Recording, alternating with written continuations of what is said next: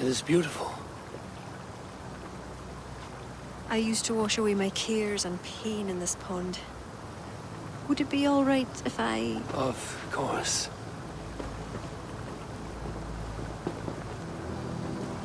As a young girl, when the Christians cleared the forests of Druids, I fled and stumbled on this spot. How would I survive? My friends, the world I knew? Soon, I turned to the children of Danu. At first, they pledged simply to keep the old ways alive. Then, one by one, druids turned to dark rituals. Then they turned to worse. Yes, even murder. I disavowed the children, and now pray for their destruction. The High Druid spoke of some sort of awful might. Fantasies, an ancient fable of a people long lost. The druids are now dispersed without a champion. You have King Flann. My hopes are placed in him, but am I a fool? He has no deep love of the past. He hopes to build a new Ireland.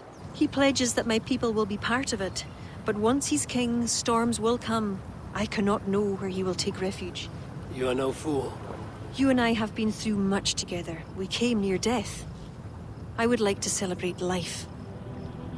Is this why you brought me to this place? Tis a lovely glen. Perhaps we could pass some time here.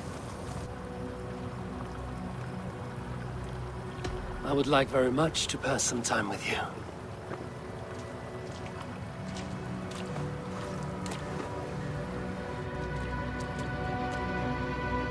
Aye.